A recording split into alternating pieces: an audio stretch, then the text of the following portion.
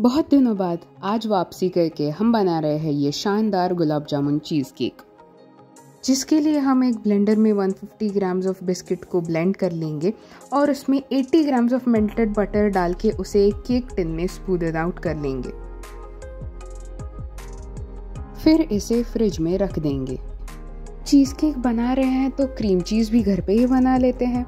तो उसमें जाएगा 1.5 लीटर दूध और 250 ml फ्रेश क्रीम अब इसे कर्डल करने के लिए हम इसमें डालेंगे 1.5 टेबल स्पून विनेगर और इसे एक मसलिन क्लॉथ से छान लेंगे।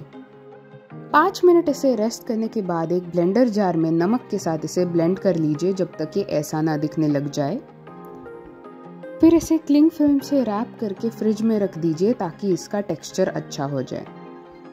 अब अगर सब फ्रॉम स्क्रैच बनाने का ठान ही लिया है तो गुलाब जामुन भी बना ही लेते हैं फिर। जिसकी रेसिपी आपको डिस्क्रिप्शन में मिल जाएगी। अब चीज़ की फिलिंग की तैयारी कर लेते हैं, जिसके लिए हम बीट कर लेंगे 375 ग्राम्स ऑफ़ क्रीम चीज़ उसमें डालेंगे 250 ml फ्रेश क्रीम और उसे अच्छे से बीट कर लेंगे।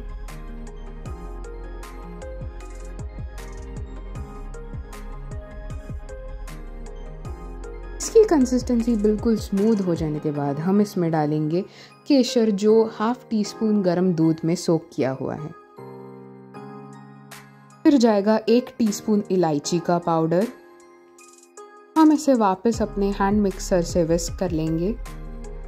मैं चाहती थी मेरा चीज़ की एक फिलिंग थोड़ा बेबी पिंक इश कलर का हो तो मैं इसमें एक drop red food gel colour डाल रही हूँ। आपको नहीं डालना तो आप इस स्टेप को अवॉइड भी कर सकते हैं।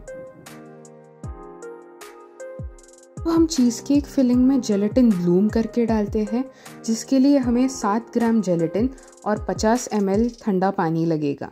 इसको हम 10 मिनट ब्लूम होने देंगे और फिर इसे माइक्रोवेव कर लेंगे।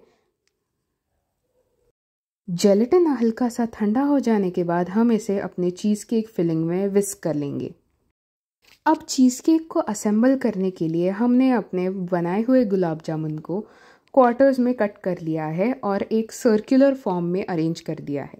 फिर हम इसमें डालेंगे अपनी बनाई हुई cheesecake filling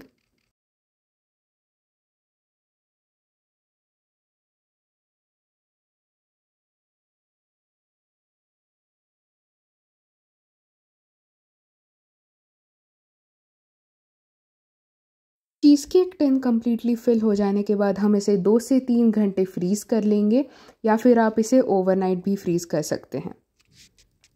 चीज़ केक को डीमोल्ड करने के बाद आप इस तरह से अपने चीज़ केक को डेकोरेट कर सकते हैं, जैसे मैंने किया है यहाँ।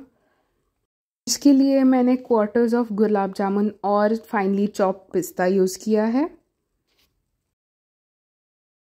हमारा चीज़ केक बिल्कुल ही तैयार है। और शेयर करना या नहीं है वो आप पे है